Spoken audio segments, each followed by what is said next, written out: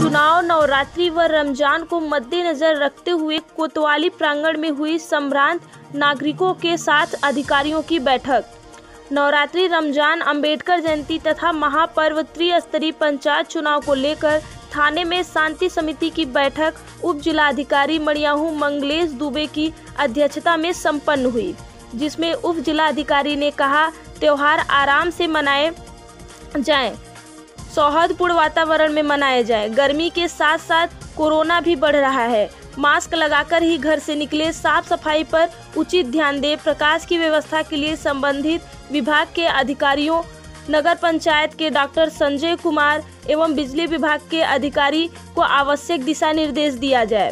त्रिस्तरीय चुनाव के संबंध में कहा कि किसी भी प्रलोभन, शराब पीकर या शराब लेकर किसी को वोट न दें।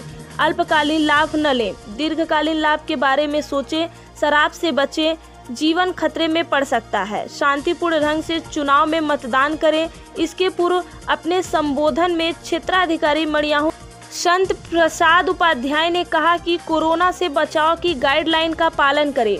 जीवन को सुरक्षित करें। जीवन बहुत ही मूल्यवान है।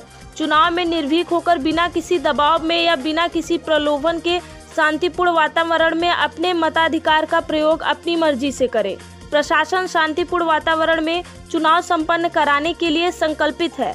त्योहारों को दृष्टिगत रखते हुए नागरिकों द्वारा जो सुझाव इस बैठक पर दिए गए हैं, उनका समाधान से गृह कर दिया जाएगा। मास्क लगाकर चलें।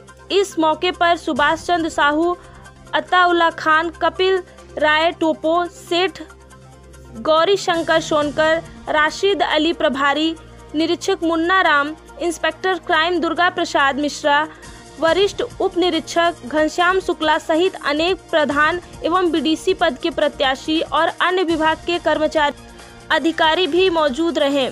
मड़ियाहू से कपिल देव सिंह की रिपोर्ट। कहीं कोई डाउट है प्रशासन से संपर्क करें। और रमज़ान माह में स्पेशली इस साल काफ़ी गर्मी अभी से पड़नी शुरू हो गई है।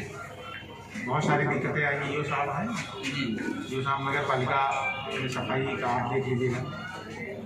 बाकी व्यवस्था के बारे में हमारे एस डी एम सर बताएँगे ऐसे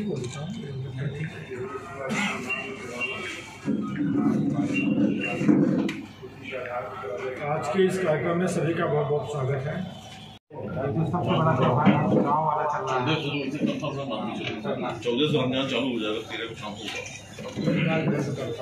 इस कारण से हर व्यक्ति व्यस्त है। त्यौहार में चुनाव में, खरीदारी में, मार्केट में व्यवस्था रहेगी हर जगह बहुत ही भीड़ भाड़ रहेगी। और कोरोना भी इस समय अपने प्रचंड रूप को पकड़ रहा है।